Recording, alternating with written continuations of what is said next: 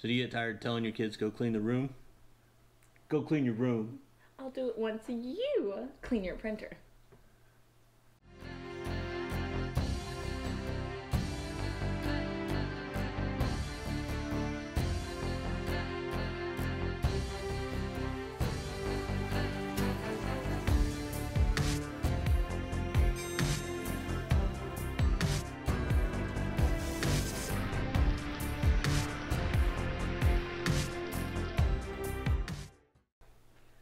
Hey everybody, welcome back to Eitri 3D, where we make mistakes. So you don't have to. And I'm Mike. And I'm Sierra. And before we start this video, I need you to pause it, hit subscribe, hit the like button, go on and share this video because you're going to love it. Hopefully. And then hit the notification bell. And then while you're at it, click on our Patreon account. Go over there and support us over there. Uh, because this the support we get from you over there helps make these videos better. So speaking of mistakes, um, we haven't taken care of this printer since we've gotten it. I've done a bunch of upgrades to it. I've scrapped a bunch of filament off to the side of the bed so I didn't have to clean it off. Like she said earlier, we are going to do maintenance on our Car. Qidi printer. I tried. You do maintenance on your car. I'll do the printer. Deal? Deal. Deal. She still ain't doing the car. It's gonna be on me. That's a lie. I know how to change oil. So I uh, reached out to Qidi Support and said, hey, what maintenance needs to be done on the printer? Now, I mean, obviously, we've got the, the normal maintenance of, you know, cleaning off the uh, nozzle and stuff like that and keeping filament from falling down underneath the bed. Okay, some of us do. I don't. Um, I have to. Yeah. Mom has to. I just brush it off. Um, so, sorry. So, anyways, I reached out to them and said, hey, what needs done for maintenance? And you know what they said? What did they say? They said, well, you don't have to do much maintenance, but here's the few things. They did. That's exactly what they said. And then in that same email, they said, hey, use this. So I went to that Amazon, Amazon, Amazon. I went to Amazon Yes. and bought what they recommended. They recommended this stuff, who I am not sponsored by. Um, but hey, here's your product, 3M. You're welcome. Yep. Uh, so what is it? It is the Car Care 3M silicone paste. Okay, so it's a silicone paste. So we're going to show you where to put it, how to put it, where not to put it.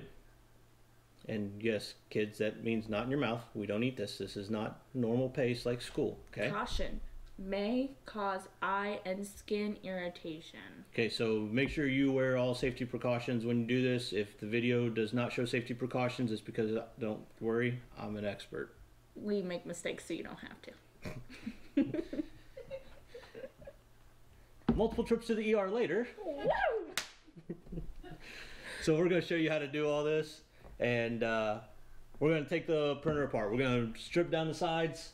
We are going to turn it on its side. I'm going to pull the bottom off. I'm going to clean it out. I'm going to make sure that my uh, ribbon cable for my Raspberry Pi isn't kinked up in there anywhere.